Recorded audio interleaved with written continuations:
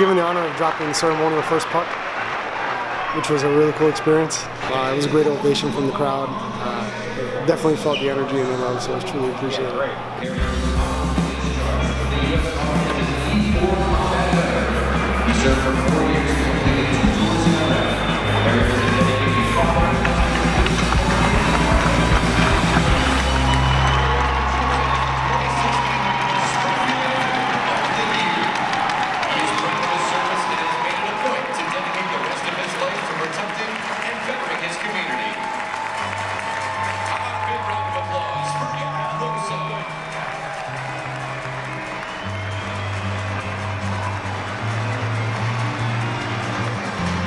I do remember the people that I served with um, overseas as well as back home. But uh, it, the, the, special bond and relationship you do form when you are overseas, uh, those those those uh, relationships last forever. And uh, so I always think back to those guys. They're all doing well, um, and I keep in touch with them pretty much on a monthly basis. Uh, and we're all scattered throughout the country and all over the world. So uh, it's it's it's a day for me to look back at those that I was with and kind of reminisce on the good times we had.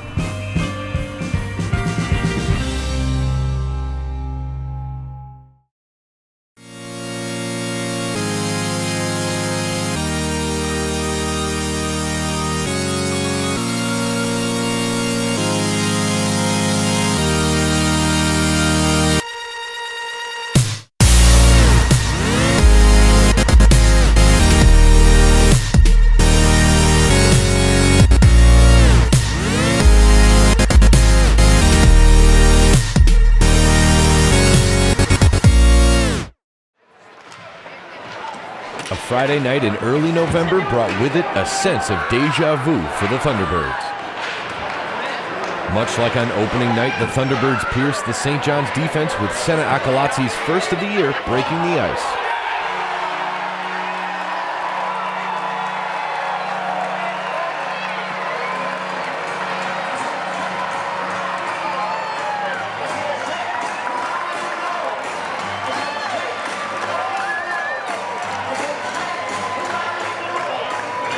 Offense has not come easy for the Thunderbirds in the young season, but thanks to another stable performance from goaltender Reto Berra, tonight's early edge belongs to Springfield.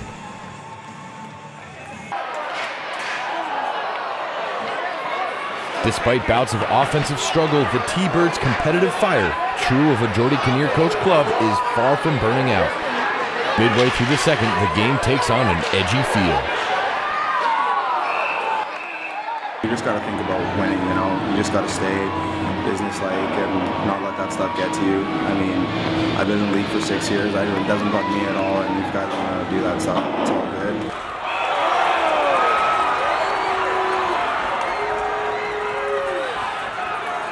I mean, you just got to stay even keel, not let the emotions get the best of you. With St. John's continued attempts to lure the T-Birds into penalty traps, the game enters the third with little room for error. As the final period begins, it's the Ice Caps who make the first crucial error.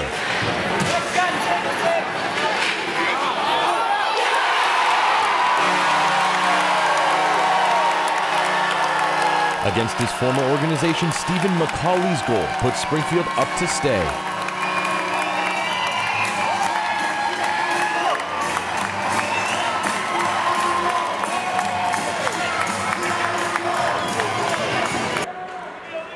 The Ice Caps' last gasps quickly go breathless as the T-Birds seal the deal.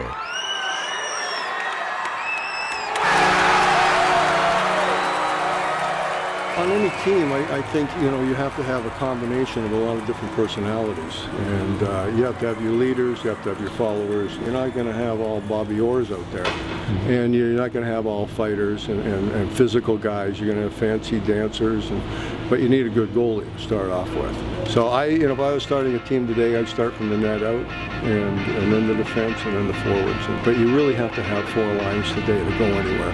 On Saturday, past and future generations of Boston Bruins came to Springfield. Names like Rick Middleton and Reggie Lemelin could once again be seen taking the ice in a Bruins sweater thanks to an alumni organization that raised support for the Big Brothers Big Sisters. From the guy who runs Big Brothers and Big Sisters asking if I would like to play. And of course, I would love to hop on the opportunity and play with all these great guys. I guess I got my phone number from my high school hockey coach. I just graduated from Louis Charles last year, and they got my number from him, and then just contacted me from there.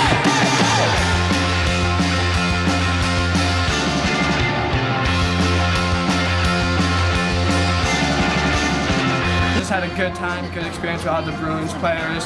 Um, my first goal, got the pass right in the slot, picked my head up, saw the goalie was down, so I just went up high with it, and lucky enough, it went in. It was a good shot. It was actually awesome having all the ex-Bruins players come up, congratulating me. It was just a great experience overall. It was awesome going out there and realizing like who you were playing with. It's not, it's not one of my friends, it's actually a professional that's in the Hall of Fame that's done amazing things in hockey. It's, just mind blowing to be out there on the ice with them. It was a great experience. So I loved every second of it.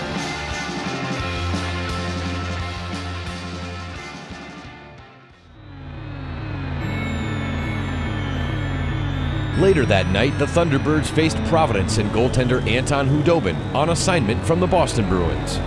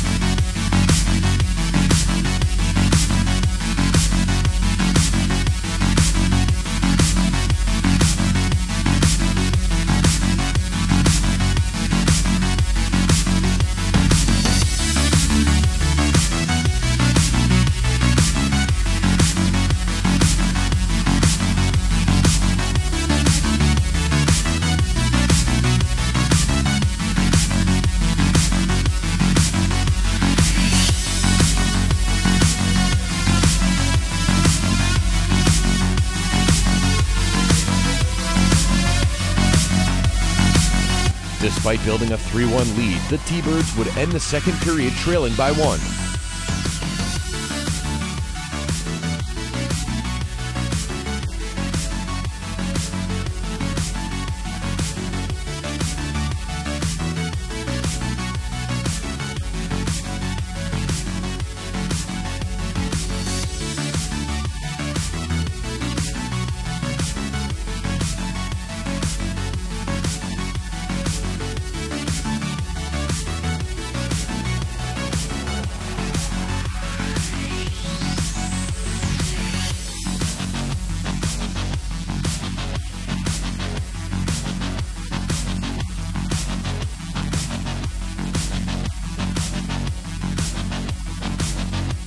Would take 20 shots and a Paul Thompson goal to even the score.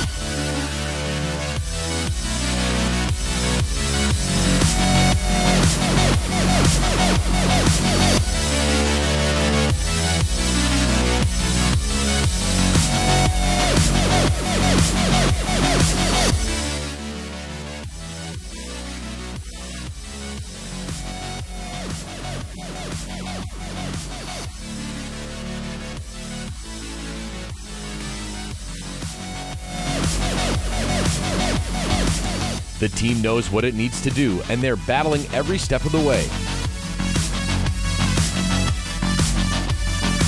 Focus on the process, and the results will come.